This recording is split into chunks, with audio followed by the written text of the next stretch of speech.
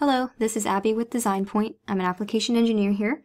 This video is meant for users that are used to modeling within the 2D environment and are now looking to experiment modeling in the 3D environment. So pulled up in SOLIDWORKS, I have a drawing of a simple bracket. I've got my 3D isometric view here, and I have two 2D drawings, a front and a right view of the drawing. So I actually didn't have to do any manual drawing to get these views at all, and you'll see how I did that. So when you're modeling in SOLIDWORKS, you can think of it as just as you would in 2D drawing. So you create a profile, in this case is shaped like an L, and once you have created that profile, you extrude it out to a certain length. So in this case, we show that in the right view here.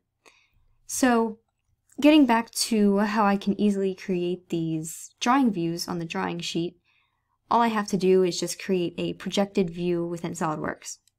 So I'm going to right click on my front view and select projected view. And when I drag my cursor around, it automatically populates the other views for me. So I'm going to go ahead and add the top view in there.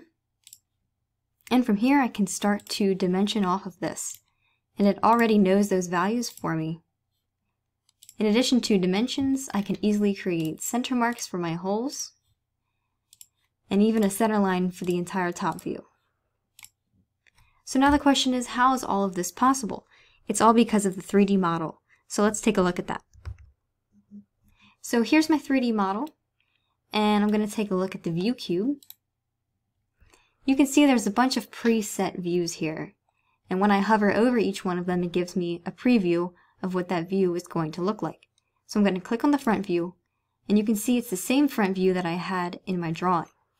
Same with the right view, and finally the top view I just created.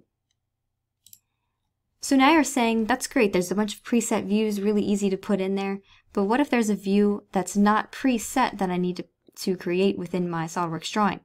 That's also very easy, I don't have to do any redrawing of the part. I'm going to show you how to do that in the next video.